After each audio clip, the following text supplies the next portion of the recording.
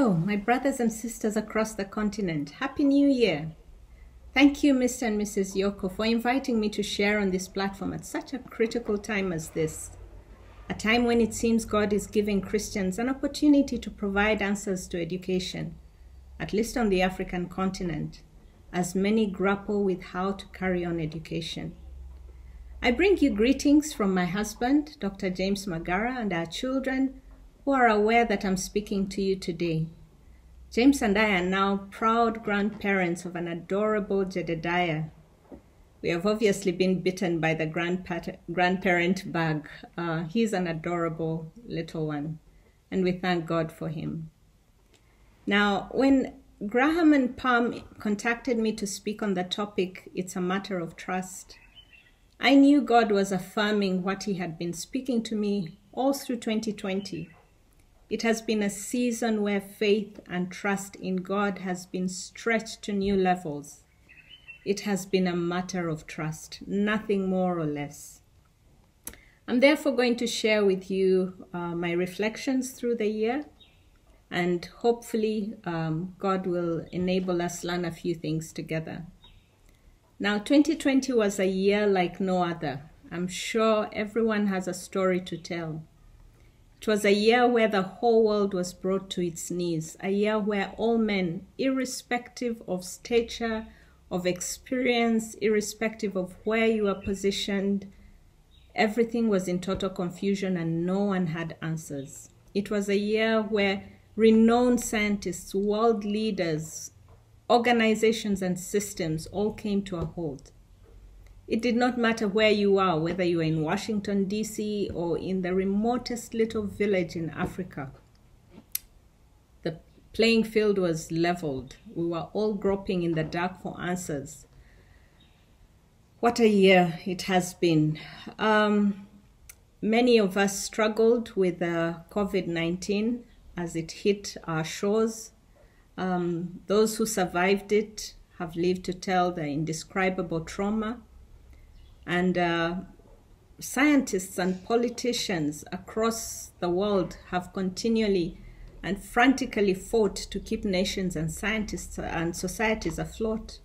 Communities, cities, towns were locked down, families, individuals isolated and quarantined struggling with the the fact that there was no time frame to it, um, and when or how it would be lifted. Now, personally, our own children are scattered around the world. Um, we have four grown children. Um, the eldest is in Barcelona. The second is in Australia with his family. Um, the third is here with us. Uh, we're thankful for that and then the, the last one is in Canada. Now, for the very first time in our lives, we have been apart for a year. Often we try and meet up once a year, but this last year we were not able to meet. And even now, we do not know when we will physically see each other again. And so it's been a very challenging year, um, not knowing what is going to happen next. Our hearts have been focused on Him, and it really has been a matter of trust. Now, apart from the time of Noah and the flood, I'm not aware of a historical account where the whole world and its system came to a halt. I know that um, there have been pandemics through the years, uh, years past, in the centuries past, but nothing like this. And although the scientists are making progress in providing drugs and vaccines to deal with the COVID 19, it's not yet over because the virus keeps mutating. Now, as believers, our help will come from the Lord. He will give us answers. And uh, today I would like to draw lessons from the story of Noah and the flood that's found in Genesis chapter 6 through to chapter 9. Now, the background to the flood is that is found in, in chapter 6. And there was at the time a lot of violence, a lot of violence in the land. It seems like all systems had gone uh, uh, haywire, really. Uh, the sons of God, we see in, in chapter 6, verse 2, the sons of God there were marrying uh, the ladies there Now, it seems that the sons of God would, would infer uh, to some angelic beings. If you go to Job chapter 1, verse 6, again you see a time when the sons of God appeared before God and it seems like God occasionally brought them together, and that's the time that Satan also came and began accusing Job. So there's a reference there of the sons of God. Whether or not this is the same situation here, the sons of God, some angelic beings, others seem to indicate that it was a race um, that God did not approve of. So anyway, these sons of God were marrying the young, uh, the ladies there, and and having children, and these children were giants. They bore children. In verse 4, we see the children, the Nephilites. That's, that's the, the mighty men, uh, the giants that came into the land. Now, the extent of the evil was so bad, so bad that God. God regretted why he had, um, the Bible says that God was sorry that he had made man on the earth. God's heart was so grieved, so much so that he decided to wipe out um, all those that lived on the land at that time, whether it was man, beast, creeping things, birds, animals, anything that was living. He said, I've had enough of this. I'm going to clear out the whole of um, all the, the living creatures. And verse 9, verse 8 um, is, is one that tells us about Noah, that Noah found grace in the eyes of the Lord. So only Noah was pleasing to the Lord. He found favor, he found grace before the Lord. And in verse um, 13 down to verse 33, God reveals his plan in response to the wickedness. He reveals this plan to, to Noah and shares with him what he's going to do the total destruction of the earth and all that lived in it. And then he gives Noah instructions on how to build the ark you can imagine at that time, it didn't seem like it had been raining. At least there, Noah did not have an idea of what a flood was. So God instructs him on how to build the ark. He was Noah 600 years old when the Lord gave him this instruction and he began um, he began to build the ark. Can you imagine? He was actually uh, not yet 600 years old because the flood came when he was 600 years old. So he began to build this ark. Can you imagine the ridicule he experienced? Can you imagine the, the questions he probably had himself even as he built this ark? There are things sometimes that God will tell us that we may not fully understand. But may we draw lessons from Noah because he simply obeyed and began building the ark. Now, in chapter 7, we, we, we see the flood. Uh, the flood began, um, and in verse, in, verse, um, in verse 5, it says, And Noah did according to all that the Lord commanded him. Verse 6 Noah was 600 years old when the flood waters were on the earth. So Noah, with his sons, his wife, and his son's wife, went into the ark because of the waters of the flood. So Noah goes into the ark with all the animals that God had instructed him to bring in.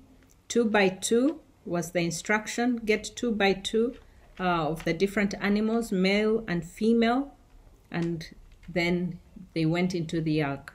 And it's important to note that in verse 16 that it is the Lord who shut them in. So really this was a, a mission, this was a, a work of the Lord. It was not man. He brought the, the flood. He caused the flood. Uh, the, the, he gave Noah the instructions on how to build the ark and who to bring into the ark. And once they were all in, he shut them in. It rained for 40 days and 40 nights.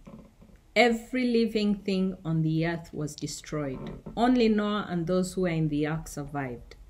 And we see in verse 24 of chapter 7 that the waters stayed on the earth for 150 days. So Noah and his family and, and all these animals were actually quarantined for 150 days, five months, total quarantine with animals. Can you just imagine what was happening in that ark? It must have been an incredible miracle every day. Trying to feed those animals, trying to clean them.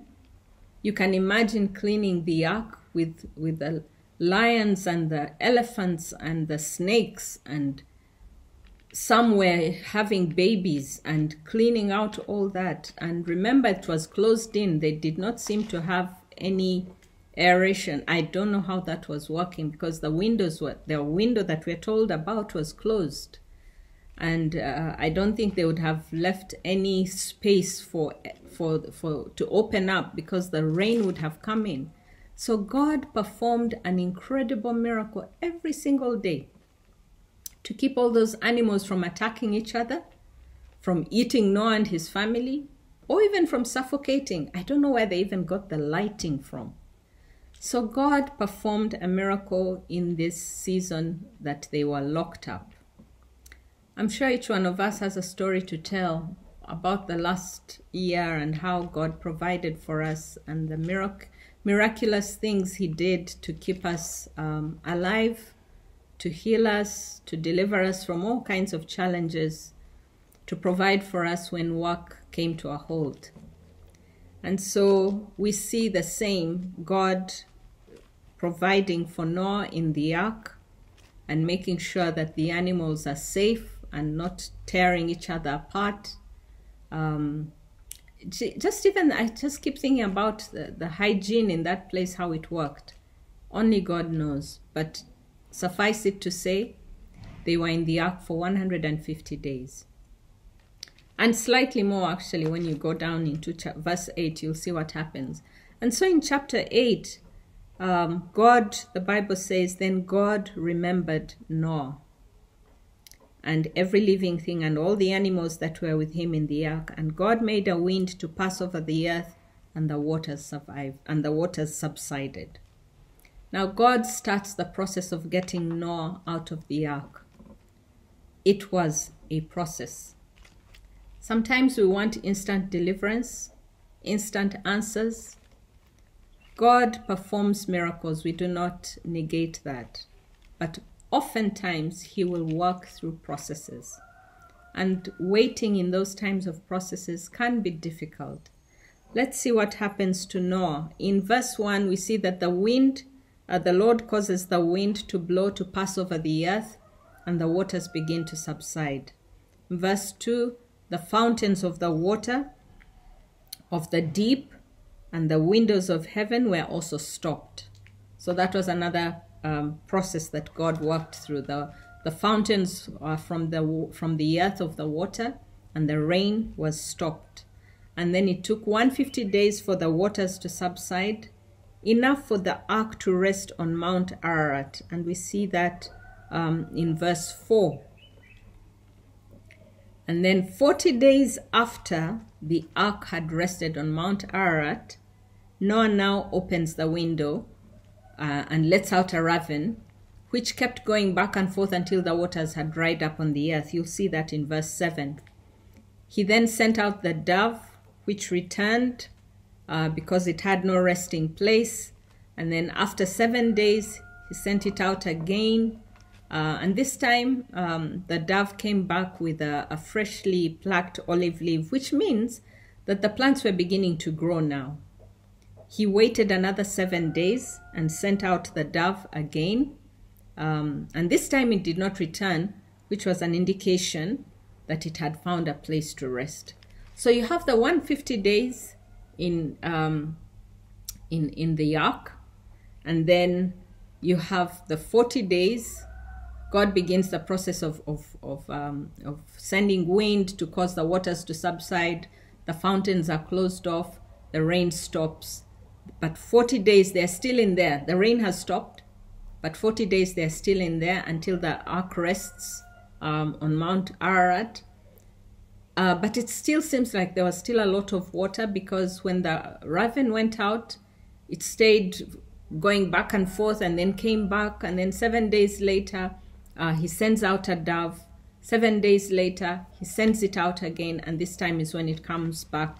Um, it does not return, meaning it had found a place to rest. and therefore, and then soon after, in chapter in chapter in chapter 8 verse 14 we see and 15 we see the lord god spoke to noah saying go out of the ark um, you and your sons and your wives and your sons wives you you and your wife and your sons and your sons wives with you. Bring out with you every living thing of all flesh that is with you and and uh, and so on. And so they all come out. They all come out of the ark. And the bible tells us that noah was 601 years old when he came out. So it, it was uh, about a year. It was about a year in the ark noah's response so noah comes out of the ark builds an altar to the lord and worships him with burnt offerings that is the very first time we see the word altar mentioned in the Bible, and, and we draw some lessons there. So then, verse 20 Then Noah built an altar to the Lord and took of every clean animal and every clean bird and offered the burnt offerings on the altar. And the Lord smelled a soothing aroma. Then the Lord said to his in his heart, I will never again cast the ground for man's sake, although the Im- imagination of man's heart is evil from his youth nor will I again destroy every living thing as I've done. While the earth remains, seed time and harvest, cold and heat, winter and summer, and the day and day and night shall not cease. So God responds by pronouncing a blessing and a covenant with Noah and his descendants.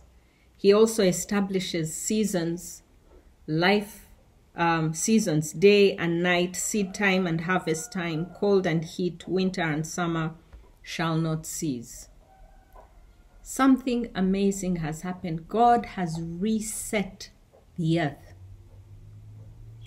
He has reset the earth. What was before was totally destroyed.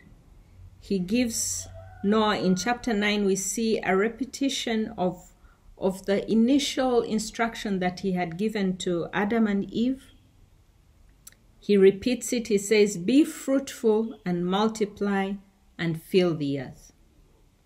So God resets the earth, gives instructions to Noah that he had given to Adam and Eve, and then he establishes something new. He establishes seasons, and he also pronounces a blessing and a covenant on Noah and his descendants. I have this sense that COVID 2019 was a season, was a, an opportunity that the Lord has used to reset the earth, to reset the systems of the world.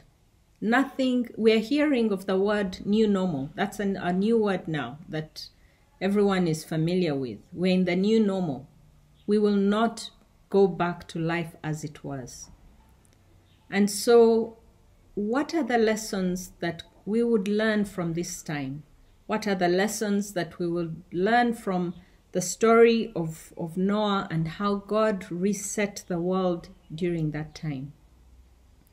Let me share with you just a few lessons that uh, I've, I've been meditating and learning through this period. One is that God is sovereign, He can do anything, He can restart the whole world for His purpose. Just as I've mentioned, 2020 was a year of resetting the whole world and its systems. Nothing has been left the same. Noah had to figure out what to do after the flood. Scripture tells us in, in chapter 9, verse 20, uh, it says that and Noah began to be a farmer and he planted a vineyard. This implies that he was not a farmer before the flood, because here he began to be a farmer. His family and the animals had to find food. Remember, all the vegetation had been destroyed. And so we too are going to have to begin new things, new projects, new ways of doing things new ways of doing education, new ways of having family. The opportunities are incredible. We just have to look away from the flood and the darkness and look at what needs we can meet, and there are many, many needs. We read in uh, in uh, the, the second lesson that I, I, would like to, to draw from uh, this passage is that God is in charge of the affairs of men. There was a time in the middle of, of um, somewhere during the lockdown, March, April, when we were seeing images of many dying in, in Europe. And it felt like we were helpless. The sense of despair, the sense of helplessness, the fear that gripped us, it's like who is in charge here? But I'm reminded that in Daniel chapter 4 17, it says that God is in charge of the affairs of men. I'd like to turn there and just read that scripture, which, which became a very strong um, encouragement to us during that period. That COVID is not the one in charge of the affairs of men but God is. Daniel chapter 4, verse 17 says, um, verse 17b, it says that the Most High rules in the kingdoms of men. The Most High rules in the kingdoms of men. I've just picked out a section of that uh, verse. And so the lesson we learn is that God is in charge. He has He's sovereign. He has not given up his throne. COVID has not taken over, or the many other things that we have wrestled with in 2020. God is in charge. And then the third lesson is that wickedness will not prevail. God's purposes will stand. We see that in the time of Noah, just before the flood, there was so much wickedness. I mean, we see it all over our continent, all over the world. We hear of stories of, of what's happening around the world, systems collapsing. Right is called wrong, wrong is called right. I mean, when you righteousness is scoffed, wickedness would seem like it's prevailing, but it's not. God's purposes will stand. And then the fourth lesson is that we, his people, have a covenant with God. We, his people, have a covenant with God. He is a covenant keeping God. He honors his word above his name. That's what Psalm 138, verse 2 tells us that he has exalted his word above his name. And so we can trust him. We can trust him. We have a covenant of peace with him in Christ Jesus. And so, because of that covenant, we can trust that this covenant keeping God will honor every single word that He has given to us. Now, during this season, I kept uh, bringing to remembrance the words that God had given us as a family, as a nation, as His people who has, He has called in the field of education. What are the words that God has given you? Paul admonishes Timothy that use, use the prophecies to wage war. And so I'd like to, to invite you to, to go back through your life and, and check for those words that God has given you. He is a covenant keeping God, He will keep them. No situation, nothing will cause those words to be deferred, delayed, or even denied because He keeps His word. Now, the, the other lesson that I would uh, draw from here is that in the midst of darkness, God's light is shining. Isaiah chapter 60, verse 1 to 2, and I'll turn to it as well. Isaiah 60, verse 1 and 2 says, Arise, shine. Arise, shine, for your light has come, and the glory of the Lord is risen upon you. Isaiah 60. And the glory of the Lord is risen upon you. For behold, the darkness shall cover the earth, and deep darkness the people but the Lord will arise over you, and his glory will be seen upon you. In the midst of darkness, God's light is shining. In the midst of darkness, we, his people, are called to shine his light. And I would like to just share with you a few testimonies that in this year, when um, COVID hit Uganda and we came, we, the nation was shut down in March, our schools have remained open even in that pandemic. The ACE schools, many of them switched to online and have been open in the pandemic. Vika, our school, Vine International Christian Academy, had the largest number of graduates in this year, in all its 15 year history. This is the year that we graduated the largest number of students in COVID. How do you explain that? It's also a year where, when the Ministry of Education here was grappling with what to do, remember that previously, previous to this time, um, homeschooling was something that people scorned. I mean, it was not something that you would wanted to even talk about. But suddenly, the Ministry of Education here started encouraging homeschooling. They actually prepared study packs, which they called home study packs, and were encouraging parents to study, to teach their children from home. Incredible, incredible they began to call out uh, to check and call us and say, How are you doing it? A few weeks ago, we hosted some uh, officials from the ministry and from the National Council um, Curriculum Development Center, the, the organ that develops curriculum. They asked us and said, We would like to come and see how you do education. We would like to see how you do your projects. God is bringing people to us as believers so that we can shine the light, we can show them what He has taught us. There are so many opportunities, I believe, that will or continually open up to enable us shine God's light, specifically in the field of education, pointing out the way that we should go. And so let's let's not focus on the darkness. Let's focus on the light that God would enable us to do, to, to provide in this season. I also want to, to point you to Habakkuk chapter 2, verse 14, which says, The earth shall be filled with the knowledge of God as the waters cover the sea. That is a promise from God concerning education, that the knowledge of, the, of God will fill the earth as the waters cover the sea. So, who is going to uh, convey this knowledge? Who is going to pass this knowledge?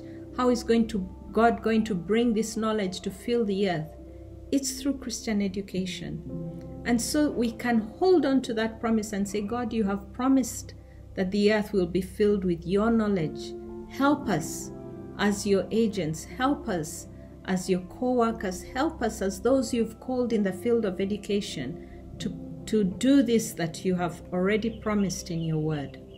And so I'd like to encourage each one of us that let's lift our eyes to God, to the God of heaven and earth, the sovereign one. He has given us his word, and he's not man that he should lie, nor the Son of Man that he should change his mind. No word of his has ever returned to him without accomplishing that for which it was sent. And so he is a promise keeper, he will keep his word. Our battle, our challenge, obviously, is to keep our eyes fixed on Him and not on the flood, not on the deep darkness that is around us. That is the battle we have to face. When you have a sick person in the home, when one of your loved ones has been quarantined or taken ill or has no food in the home, it's very hard. But the challenge is that we lift our eyes off these things. We remember who we serve. We serve a sovereign God He's the one who will sustain us in the ark while the world reels from the, the flood and while the earth is covered with darkness. His glory will fight for us, His glory will shine over us. So let's keep our eyes fixed on Him, Him, uh, the God who never fails. He has promised us that His glory will rise over us, and we therefore ought to step up and shine. He will give us the answers that the world is looking for. It is just a matter of trust. God bless you and all the best in the new year.